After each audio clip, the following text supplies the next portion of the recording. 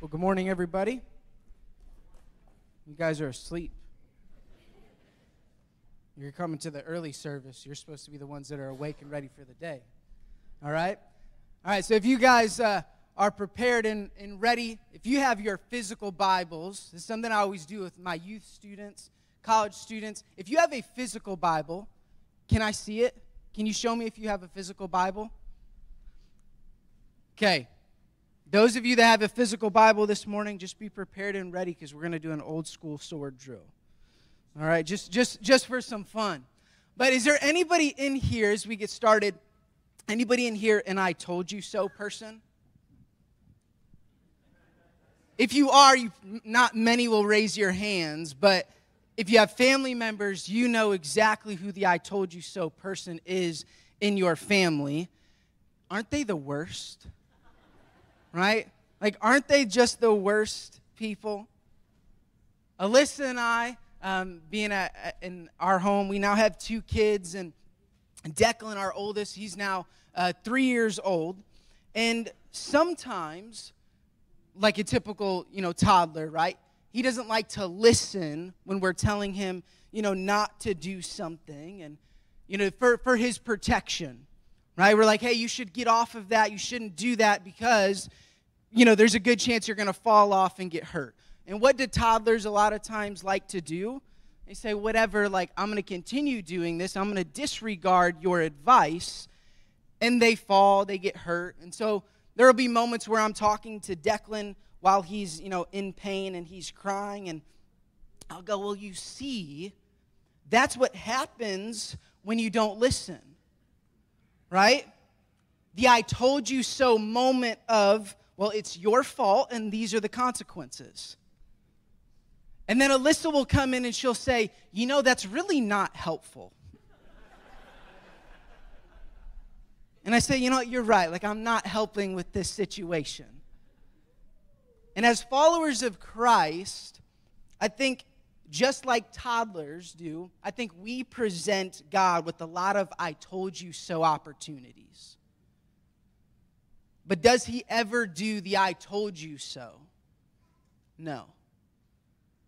But I think about this just for, for a moment. Think about this for a second that God outlines everything for us in His Word. But like a toddler, we're like, whatever, Dad, I'm going to do what I want. Right? And do you know what follows our disobedience and ultimately our pride? Pain and destruction and many moments of being disconnected from our Father. So if you have your physical Bibles with you, and if you need a physical Bible, please let one of the pastors know because we want to get you guys a physical Bible. I love, you know, technology, but something's different when you have a physical Bible. So if you have a physical Bible, can you turn to Haggai chapter 1? If you have your phones, you can do this. If you uh, would lo- uh, like to follow along with some notes, you can go to our Flag Church app and follow along with our notes uh, as well. But if you have your physical Bible, turn to Haggai chapter 1. If you're the first one to get there, raise your hand. Oh, you guys, okay. There were, there were three all at the same time. You might have been there previously. But in Haggai chapter 1, verse 5, it says, now, this is what the Lord Almighty says Give careful thought to your ways. Give careful thought to your ways. Now, God is not a I told you so God, but He does remind us to pay attention to our decisions that we are making. Because we have to live with the consequences of our decisions, right? We know that if we've lived any amount of time, you have to live with the consequences of whatever you decide. That's just what is a natural reality uh, of life. And so, plain and simple, when we look at this like spiritually, man, if I go to hell, it's not because God sent me there. It's because my decisions chose that reality. Right? Like, I have a responsibility in this life. I can't blame anybody else. If I did it, it's my fault right? Like it's those are the consequences that I deal with in my life. But does God want ruin for his people? No. Does God create us to see us go to hell? No, because he loves us and he wants to spend eternity with us.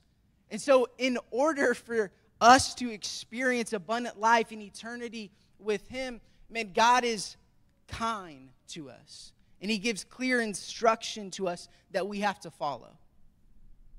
He outlines it clear for us because he cares about us. Pastor Anthony uh, uses this phrase of that clarity is kindness. Because the more clear it is to you, the better it is and easier it is for you, right? That's what the Lord offers us in His Word. And so we are going to look this morning at the Israelite people in the journey of rebuilding uh, the temple during their return from exile. And the backstory of this is in 2 Kings uh, chapter, chapter 17 to 25. You can go back and read this uh, later. And what's leading into this book of, of Haggai is that the Israelites had been um, in rebellion and they had done all of this uh, covenant unfaithfulness with the Lord. And their unfaithfulness brought upon them destruction from the Assyrian and Babylonian empires, which then set, sent them into captivity for 70 years. So when we're at this spot in the book of Haggai, they're coming out of exile because in 538 BC, King Cyrus of Persia allowed the, the Jews to return to Jerusalem. And so then during the years of their return from exile, God spoke through the prophet Haggai to the people, to the Israelites, and they were to rebuild the temple.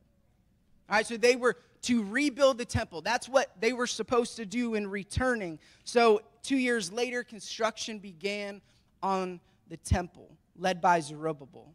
And in Ezra chapter 3, verses 10 to 11, you can go back and you can also read the story of the building of the temple there as well. And in this moment, the they, they start the building and everyone's super excited. They've got trumpets and cymbals and they're celebrating. And so then in this, this section of scripture, it says, Then all the people shouted with a great shout when they praised the Lord because the foundation of the house of the Lord was laid. So everybody's excited. But despite the glorious and excited beginning, after two years of working, the work stopped derailed by a lack of focus and discouragement. Derailed by a lack of focus and discouragement. And I think this sounds a lot like Christians today. Is that there are seasons that we are focused on our relationship with God. We're all excited. We're into it. We're celebrating Him. We're giving. We're serving. We're wanting to spend time with Him. But then things begin to take our time and our attention, and we lose focus. Or you're following Jesus and you're giving your life to Him, but then some negative situations take place into your life and you become discouraged in your faith because you're wondering, well, why would God allow this to happen to me? Or why has He not answered my prayer? And we get discouraged in our faith. And in these situations of life, does God understand and have compassion for us? Yes. Thankfully, the Lord is a God of compassion and grace and kindness and goodness to us. But God loves us too much to continue to let us live without our focus upon Him. And He loves us too much to let us live in our darkness and in our pit. And so, what He calls to the people in Haggai and what He calls to us today is to return our focus and attention upon Him.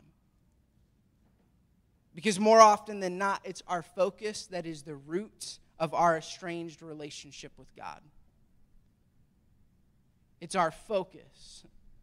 Our focus, not anything else, but our focus. Because despite negative situations in my life, if my eyes and my spirit is focused upon the Lord, I can be strong and at peace in negative situations.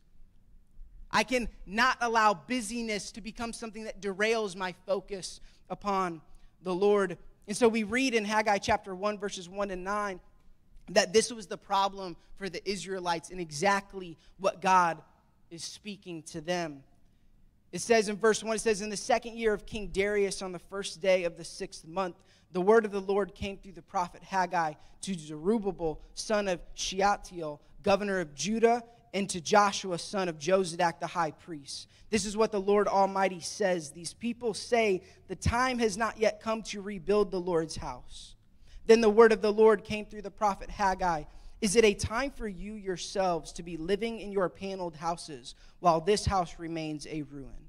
Now, this is what the Lord Almighty says Give careful thought to your ways. You have planted much, but harvested little. You eat, but never have enough. You drink, but never have your fill. You put on clothes, but are not warm. You earn wages only to put them in a purse with holes in it. This is what the Lord Almighty says Give careful thought to your ways. Go up into the mountains and bring down timber and build my house, so that I may take pleasure in it and be honored, says the Lord. You expected much, but see, it turned out to be little. What you brought home, I blew away. Why, declares the Lord Almighty? Because of my house, which remains a ruin, while each of you is busy with your own house. So the Israelites they told themselves that it wasn't yet time to resume work on the temple. And I think there were some good reasons to why they felt this way. If you were to read the story, if you were to read in Ezra, you'll see that the land was in bad shape after 70 years of neglect. The work was hard, right? It's not easy to build a temple with stone and everything that they used at that time. It's difficult work now, even, even harder back then. They didn't have a lot of money or manpower. They had suffered crops and suffered drought, and hostile enemies went against the work that they were doing. But in verse 2, it says, This is what the Lord Almighty says. These people say the time has not yet come to rebuild the Lord's house. So the people said that it wasn't time to rebuild the house. But what we want to focus on here is when he says these people. We never like to hear God speak to his people this way, saying, these people, instead of my people. He said this because he saw that their excuses and poor priorities were revealing that they were not living like his people. Now we need to remember that these were not bad people. All right, like when we're looking at the Israelites, man, these people are terrible. Like, how could they live that way? How could they reject what God is wanting them to do? They're not bad people. I mean, hundreds of thousands of Israelites went into captivity and only 50,000 returned. And the people that returned were the most committed to the Lord and the restoration of Jerusalem. So these are not bad people. So when we look at our lives, the Lord is not looking at you and saying, You're a bad person, and so you need to return your focus upon me and the things that I want. He's not just like calling us out because we're bad people. But the people said with their words that it wasn't yet time to rebuild the temple, but in their actions, what they were saying is that it was time to focus on what they saw as important. And so when we look at this section of scripture, three things stick out to me and the first one being is that our choices matter. And we can know that without even knowing Jesus, that our choices matter, right? But our choices matter when it comes to our relationship with the Lord. The problem with the, the Israelites is not that they were bad people, but they simply had wrongly ordered priorities. Wrongly ordered priorities. It is said that they were content to let the cause of the Lord suffer rather than give up their comfort. Instead, they should have felt no rest until the work of God was as prosperous as their personal lives. They should have been willing to sacrifice as much for the work of God as they were for their personal comfort and luxury. So the excuses of the Israelites, they sound familiar.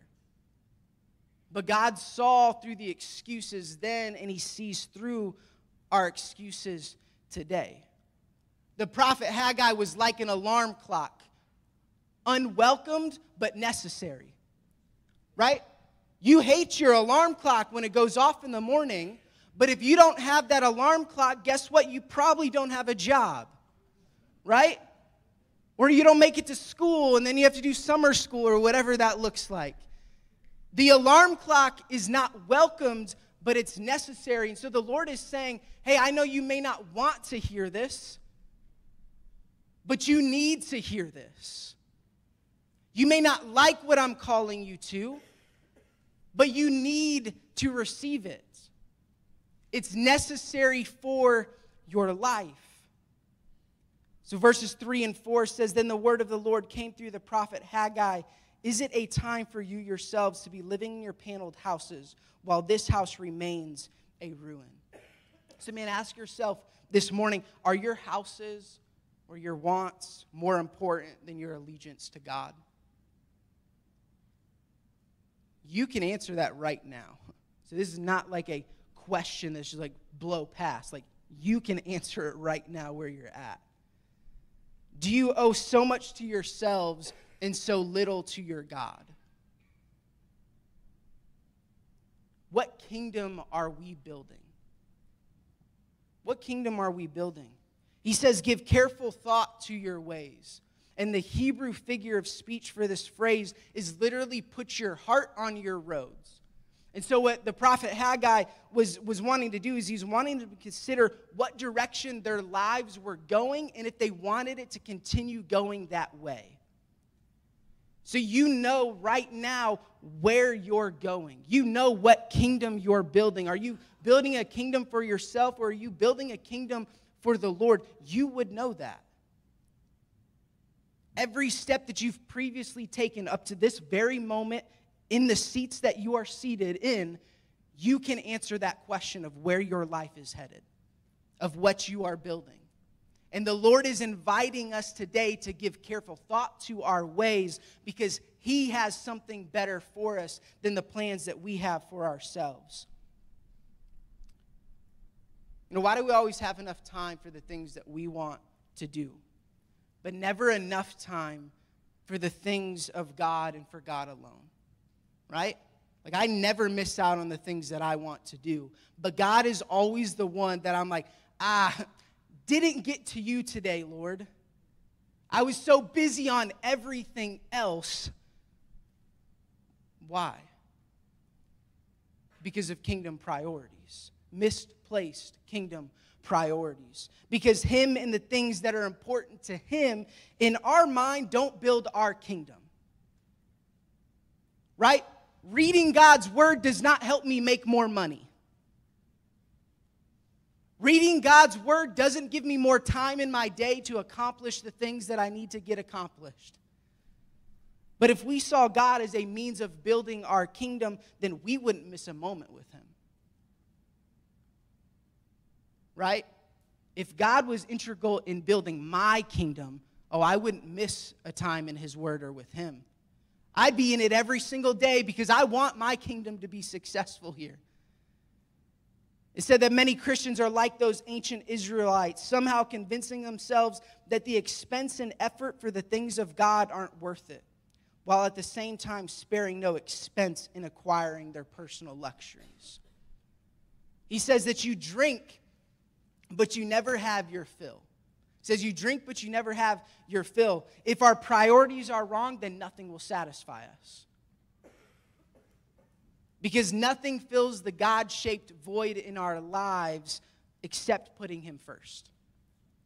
Nothing else can fill that. And we realize that as Christians every time we try to fill it with something else. That we're always left empty and we're never excited or satisfied with what is there. So in verses 7 and 8, it says, This is what the Lord Almighty says give careful thought to your ways. I mean, we see this repeated multiple times. Anytime something is repeated, it means you need to pay attention to it. Give careful thought to your ways. Go up into the mountains and bring down timber and build my house so that I may take pleasure in it and be honored, says the Lord. That I may take pleasure in it and be honored. So, what was taking place here is that God was saying it was time for God's people to start being concerned with pleasing Him instead of themselves. It was the Lord's turn. It was the Lord's turn. Charles Spurgeon says that there is a set time for each of his messages to come to men, and God would have them give heed to every message as soon as it is delivered to them. So maybe today you realize that the route that your road is headed and the way that you have been living your life is that you have been putting your desires on the throne of your life. And today is the perfect day to replace that and put God on the throne of your life. In Haggai chapter 1, verse 12, it says, Then Zerubbabel, son of Shealtiel, Joshua, son of Jozadak, the high priest, and the whole remnant of the people obeyed the voice of the Lord their God and the message of the prophet Haggai, because the Lord their God had sent him, and the people feared the Lord.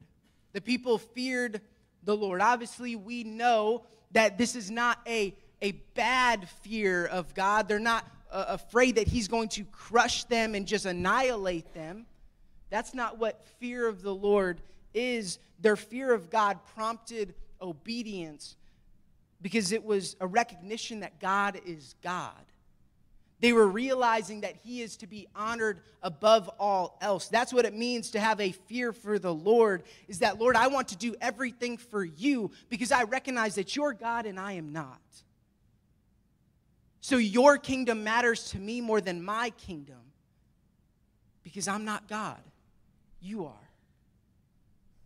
So, verses 13 and 14, it says, Then Haggai, the Lord's messenger, gave this message of the Lord to the people I am with you, declares the Lord. So the Lord stirred up the spirit of Zerubbabel, son of Shealtiel, governor of Judah, and the spirit of Joshua, son of Jozadak, the high priest, and the spirit of the whole remnant of the people. They came and began to work on the house of the Lord Almighty, their God. So they were given the instruction, and then they finally said, All right, yes, God is God. Let us go do what God is telling us to do. So they came and began to work on the house of the Lord Almighty, their God. The stirring of the Spirit didn't come and go just as a spiritual experience. It wasn't just a motivational spark that dissipated once the moment was over, because God is not an emotional experience that is just there to make us feel good. Right? I hear it sometimes where it's like, man, I need to get some Jesus in my life, or man, I go to God or I go to church when I need it. Well, what do you need? Like, what, what are you expecting to get in that moment to feel good? About yourself. God is more than that. God is more than an emotional experience that we, that we experience in a worship night or in, in worship on Sunday morning. It's more than just something that's a good feeling. It does something in your spirit when you have a recognition that God is the Lord of your life, that He is the King of kings and the Lord of lords. You say, you know what? This is not something that just stays here in this moment, but I want to do something with it. And that's what's taking place here is that it was bubbling up in them. They're saying he is the King of Kings and the Lord of Lords. There has never been, nor will there ever be anyone else like our God. They're like, I need to do something with this. Because when I recognize God as the Lord of my life, everything else begins to pale in comparison. And I will follow him to the degree in which I believe. So their fear and their reverence for God prompted obedience. And then I also see that the obedience of God's people is part of how God works in our world. That God uses the obedience of his people to build his kingdom. Can God do all he wants by himself? Surely, he's God, right? He doesn't need you and I but he chooses to use broken people like you and me. And this should be something that motivates us with humility in action. To be like, man, God wants to choose somebody like me that has not done everything right, that is broken, that is still sinful, that is not a perfect representation of Him, and yet He wants to use me despite all of my past. I'm humbled by that and then motivated because I'm like, man, if this God wants to choose me, He already set me free. I'll give Him my life. I'll do what He wants of me. So God's work always requires the participation of His people. God's kingdom always advances through committed leaders and people who submit themselves fully to God's purposes. When God created you, He created you for Himself. But what He also did is that He thought about everything about you and the role that you would play in building His kingdom. That's why every single one of us is uniquely created because He said, I'm going to create you this way, and you're going to use this in my kingdom. That every single one of us has a role to play. When we receive Jesus as the Lord of our lives, we not only receive salvation, but we also get to step into the plans that God has had for us from the beginning when He created us. I think of uh, Paul in the Bible. We see Paul did all these amazing things in Scripture, but at one point, Saul was Paul, and he was against God's kingdom, and he was persecuting Christians. But Saul was the same man in personality and ability as Paul was.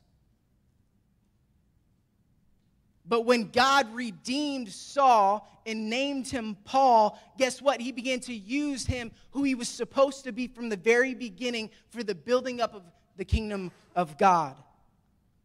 So the Lord says, I am with you, declares the Lord. We see this in Scripture that He always empowers and encourages us to do what He commands.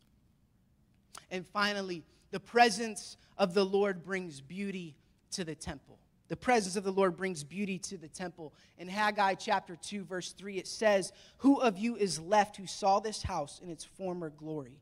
How does it look to you now? Does it not seem to you like nothing? So when the people were building the temple, they were discouraged because some of them had seen the temple that Solomon had built and it was more extravagant and more beautiful, and they were discouraged by what was there. But in verse 9, the Lord says this The glory of this present house will be greater than the glory of the former house, says the Lord Almighty. And in this place I will grant peace, declares the Lord Almighty. So, so much work was put into the construction of temples in, in, in Solomon, and the, and the Israelites were discouraged by what they had built because it was in pursuit of making it worthy of the presence of God. They wanted it to be so extravagant and so amazing because they knew what resided in the temple. But God was saying this He's, I'm going to take the less than glorious house and I'm going to bring splendor to it. That this will be greater than the previous temple. This would be the temple that Jesus would speak in. This would be greater things that would take place than the Israelites had ever seen. But they were trying to create something that God is saying, You don't create the beauty, I do. And this is exactly what God does with us. In 1 Corinthians chapter 3 verse 16 it says, "Don't you know that you yourselves are God's temple and that God's spirit dwells in your midst?" And so God brings beauty to our lives when we receive Him. He does a work in us, and then His goodness is shown through us to other people. So He takes a temple like us that doesn't look good, that is imperfect and makes mistakes, and then He says, Oh, but people are going to see my goodness and my love and my beauty through you. The Israelites wanted the temple to be worthy of God's presence we should care what state our body and temple is in too. In Haggai chapter 2, verse 14, it says, in this, in this moment, the, the, the, the there's a conversation that's taking place about uh, things being defiled by uh, somebody touching a dead body and then touching food. And they're saying, Would that food then be defiled because that person touched the dead body? And they say, Yes. In verse 14, it says, Then Haggai said, So it is with this people and this nation in my sight, declares the Lord. Whatever they do and whatever they offer there is defiled. You see, there are moments in our lives where we find ourselves in position of not caring what God says, and it poisons everything else that we do. I mean, do you not realize do we not realize that our rebellion is rotting the possible fruit of our lives? Just like the food contaminated by the person who touched the dead body, so our lives are contaminated by the things that we choose to engage with. I can do holy things like serving in church. I can give. I can attend church. But while I'm doing all of those things, it's, it's poisoning everything else. Because while I'm living in sin, all of those good things, it doesn't really matter. I mean, there's a reason in our relationship with Him that we don't feel His presence in certain moments because we are coming to Him with unclean hearts that we don't plan on allowing Him to clean. And so the question this morning is Will our temple be holy? A place that is worthy of God's presence, or will it be unclean? If the priorities of our heart are wrong, then nothing we do is holy to God. So he says, Give careful thought to your ways. In Hebrews chapter 10, verse 26, it says, If we deliberately keep on sinning after, after we have received the knowledge of truth, no sacrifice for sins is left. And what that's saying is, if I reject Jesus, then the blood of his sacrifice, what we did this morning, is no longer covering it because I'm choosing to push it away. And when we when we sin willfully, we are rejecting Jesus' work on the cross as sufficient. We disgrace him by rejecting his greatest work. We devalue him by devaluing what he did. But again, to end, in Haggai chapter 2, verse 9, it says, The glory of this present house will be greater than the glory of the former house, says the Lord Almighty. And in this place I will grant peace, declares the Lord Almighty. And so when the book of Haggai ends, it ends with this hope of a bright future just hanging there. The what ifs of life to be determined by the actions of the people the what ifs of our life to be determined by the actions of what we will do with everything that the Lord calls us to. Your life, your temple, can be filled with God's beauty. Your life can reveal the goodness and the beauty and the love of Jesus to those that are around you. The Lord is saying, man, like great things have happened before, but man, I'm about to do something that is far greater, and I'm going to do it in you. I'm prepared to do something that you have never seen before. Dwight L. Moody says that the world has yet to see somebody that has fully given themselves to the Lord. Our world has yet to see that, but the Lord wants people that are prepared to say, God, your kingdom is the only king that, kingdom that matters to me. The most fulfilling life there is is the one spent building the kingdom of God. Jeremiah 29 11. If you've been in church a period of time, you've probably heard this. If you've not been in church before, you might have heard this too. It says, For I know the plans I have for you, declares the Lord plans to prosper you and not to harm you, plans to give you hope and a future. Would you stand with me this morning?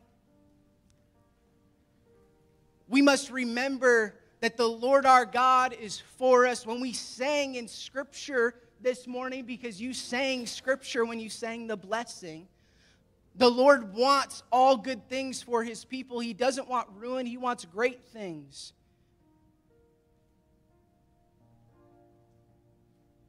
But here's the reality of life your temple may not always look beautiful on the outside. But if the Spirit of God is in you, there's beauty that you cannot even comprehend. And there will be beauty that will be seen. So you may get sick, but the beauty and the goodness of God will be shown through your life. You may experience loss, but the Spirit of God will fill you with hope and with peace. You may not get everything that you want in this world, but the Spirit of God will make you feel like the richest person in the world. Because Second Corinthians chapter 8 verse 9 says for you have experienced the extravagant grace of our Lord Jesus Christ that although he was infinitely rich he impoverished himself for our sake so that by his poverty we become rich beyond measure. So give careful thought to your ways and let's build the kingdom of God Because God is prepared to do amazing and beautiful things through every single person in here. And it's not about what your past has looked like. It doesn't matter what your exterior looks like. God, when He created you, He thought about you and He said, This is who I've created you to be, and I've created you for myself and for my kingdom. And there is a role for you to play in the kingdom of God. And He just invites you to turn your focus upon Him so that He can have your way in your life and bring beauty out of nothing so that somebody else can see the beauty and the goodness of God. God chooses to use people like you and me. Because there are people like you and me that have yet to experience the beauty of Christ. So, who better than to show the beauty and the goodness of God than people that don't always look like Him and people that have negative and messed up pasts? That He can say, Oh, but you're not too far gone. You're not too messed up. Look at this person. Look, the, look, at, look at the beauty in their life. I'm prepared to do it in yours. So let's just step in and turn our focus upon Jesus.